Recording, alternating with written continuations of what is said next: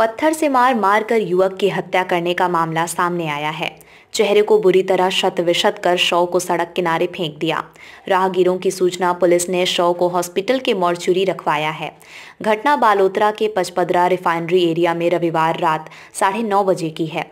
मृतक भोला मलिक छत्तीस वर्षीय झारखंड के सिंधरी धनबाद का रहने वाला था। जानकारी के अनुसार रविवार रात को नागाडा राय होटल के पीछे जेबीएल कंपनी के पास सड़क किनारे शत विशत और लहूलुहान शव पड़ा मिला।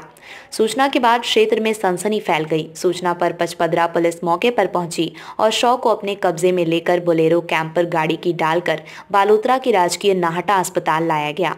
शव बालोतरा राजकीय नाहटा अस्पताल की मॉर्च्यूरी में रखवा दिया गया है। मृतक के परिजनों को घटना की जानकारी दी गई। पोस्टमार्टम के बाद शव परिजनों को सौंपा जाएगा। सब इंस्पेक्टर सुराराम ने बताया कि रविवार रात करीब साढ़े नौ बजे घटना की जानकारी मिली थी। युवक के शव के पास खून से सना हुआ एक पत्थर मिला है।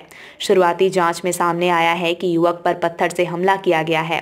पत्थर से चेहरे को बुरी तरह शत विशत कर दिया गया।